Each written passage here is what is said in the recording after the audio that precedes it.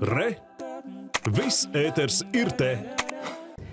Sociālajos tīklos strauji izplatījušies video ar atkal pamanītajiem lāčiem Latvijas mežos, un šoreiz vien ar dažu dienu starpību tos sastapuši un iemūžinājuši divi valcēnieši. Lai arī abi visai daudz laika pavada mežā, šī bija pirmā reize, kad savvaļā aci pret aci satikti divi lācēni. Sajūtas un emocijas tajā brīdī bijušas dažādas, gan satraukums, gan arī prieks. Turpin Vidzemes televīzija. Valcēnieši Eduards Rācenis un Astra Kalve lācānus pamanīja Valkas pagasta mežos. Eduards atceras jau, kad izkāpis no automašīnas dzirdējis līdz šim nedzirdētu skaņu. Vēl neko nenojausdams devās savās darba gaitās, un skaņa atkārtojās vēlreiz. Teikt, es zinu, kas tā bija skaņa. Tā ir, kad lācis kāpj kokā. Bija pakāpies apmēram 3 metrus priedē un skatījās uz mani. Un tad bija arī otrs.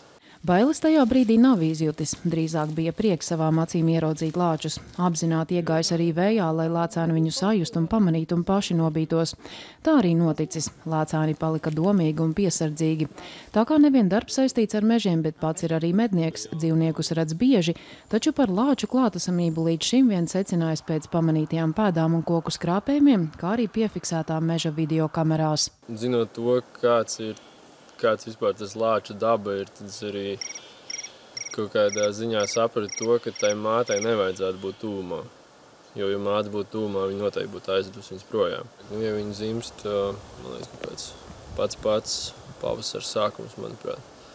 Un tad viņa ir tāda pusotra gadnieka, apmēram. Vien pāris dienas vēlāk Astra Kalve visticamāk tos pašus lācāns pamanīja lasot mellenes. Pirmajā brīdī bijis nedaudz bail un domājis tikai par to, kā ātrāk tik līdz savai automašīnai. Raitā solī devusies prom, bet lācāni viņai sakoja. Pamanu kaut kas uz manīm skatās. Domāju, kāds ogotājs sieņotais paņēmis suni izskrieties. Nē, tur vēl viena galva, un tad es sapratu, ka tie ir tie slavenie lācēni. Nu, kad jau pie mašīnas, tad drošībā. Tā arī viņa man atnāca līdz pašai mašīnai. Palika metrs 20, 30 no mašīnas. Ēda melens, spēlējās, nelikās traucēti. Kādu pusstundu apmēram es viņus vēroju. Pēc tam viņi paņēma un aizgāja. Aizgāja ārā uz ceļa, ēda vēl zāli, lapas tur un aizgāja. Tā kā abi valcēnieši visai daudz laika pavada mežā, ir arī interesējušies, kā uzvesties un rīkoties, ja pamanīti lāči. Esot mežā, pirmkārt, ik pa brīdim ir jārada kāds troksnis, lai, ja dzīvnieks ir kaut kur tūmā, sadzirdētu un netuvotos. Bet, ja satikšanās ir jau notikusi, tad galvenais ir saglabāt mieru, nebaidīt vai nedzīt prom pašu dzīvnieku, arī pašam neskriet prom, jo dzīvnieks to var uztvert kā medījumu un dzīties pakaļ. Es braucu mājās, jūs tepat paliekat. Labi?